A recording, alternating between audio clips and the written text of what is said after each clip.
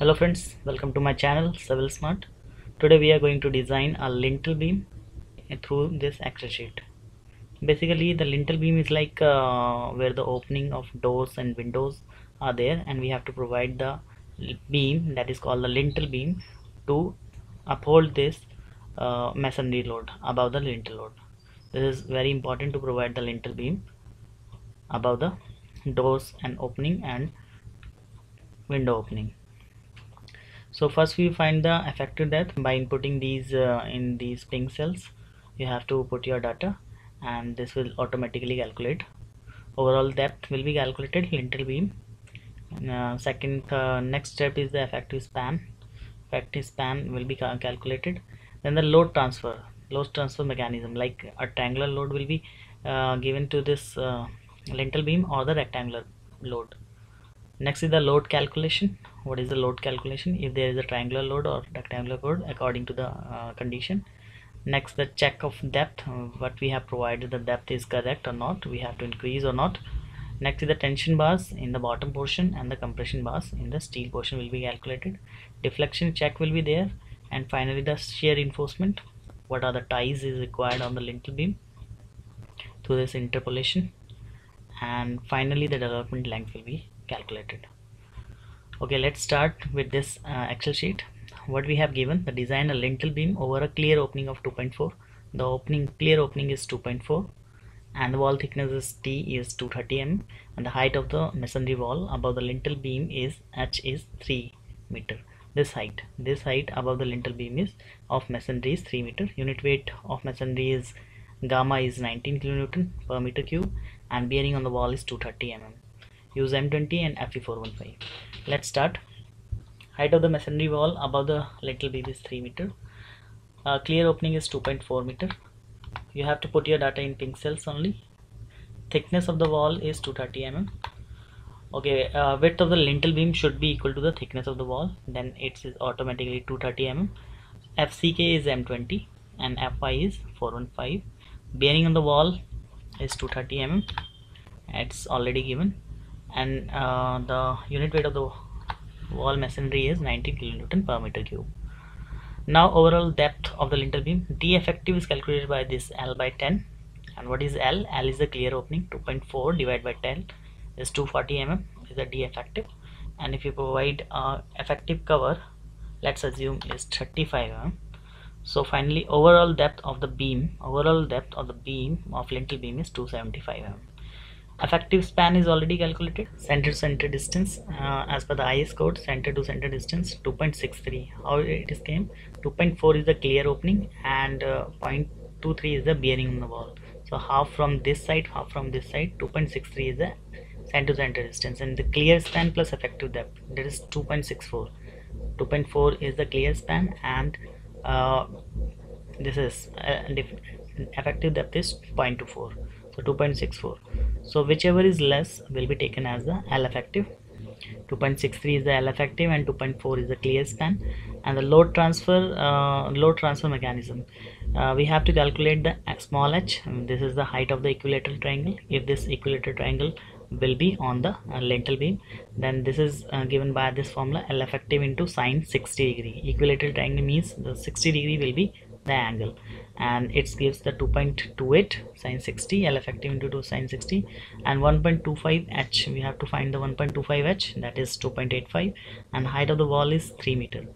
And now the condition if H is greater than 1.25 H then the equilateral triangle load will be transferred over this uh, lintel beam. Otherwise the rectangular load will be transferred so now we have uh, in in our case this h is greater than 1.25 h 3 is greater than 2.85 then the equilateral load tri triangle will be transferred to the lintel beam next is the load calculation. Uh, that is the equilateral triangular load. And this load you have to calculate. So area of the load is half base into height half l effective into height is h into thickness thickness of the wall into gamma. Gamma is the density of the masonry so 3 13.909 kilonewton. Rectangle if the rectangular load will be transferred then this is h into l effective into thickness into gamma. So movement due to the masonry load w into l effective by 6 so you have to take the triangular load in this case. Otherwise if the rectangular load is calculated in this portion then the rectangular load will be given. So moment is 5.74 now the self weight of the lintel. Self weight of the lintel is b into capital d into density of the uh, this. So 1.58 m2 moment due to masonry load. M2 is w into l effective square by 8 due to this lintel beam the moment is 1.37 so we have to add up these two moments m1 plus m2 so final moment is factor moment is 10.66 now check for that. So we have uh, the 4.415 is the fy so for 415 the mu by fck bd square as the value is coefficient is 0.138 so we have to choose 0.138 now you can see mu is 10.66 10.66 so d required is 130 mm and what we have provided it's 240 mm so d provided is greater than d required hence it is okay.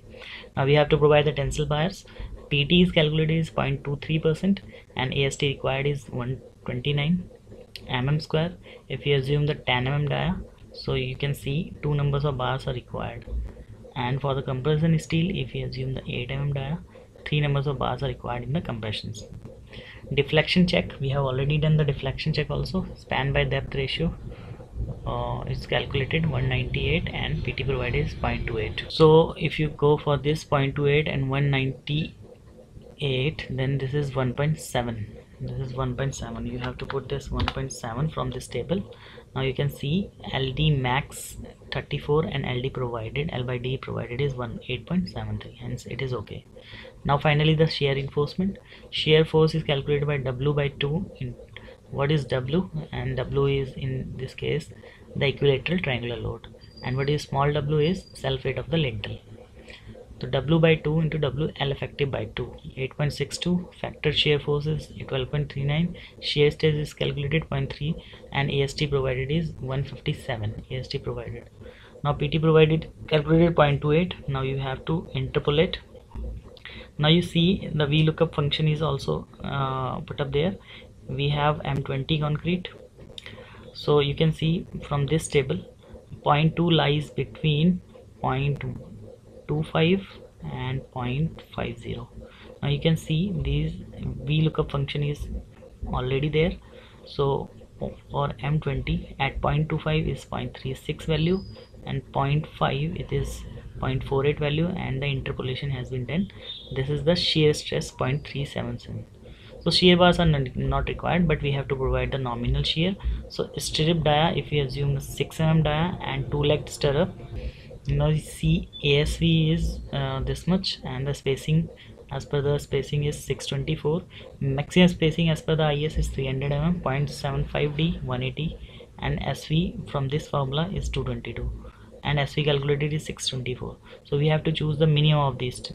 So 180 is the final. So two legged stirrup 6 mm dia 180 mm center to center is the stirrup shear reinforcement finally the development length for m20 this is 1.2 now you can see the development length is 480 and 310 mm and this is the detailing we have already given. Detailing you can see in the um, uh, tension bars 2 into 10 mm you can see that 2 into 10 mm uh, and 3 of 8 mm in the compression side and 2 leg stirrup 6 mm 180 mm center to center. And 240 mm is the overall depth and this is 230 is the bearing so friends if you like this video and if you want this excel sheet please contact me on my mail id and email address and my whatsapp number. Thanks for watching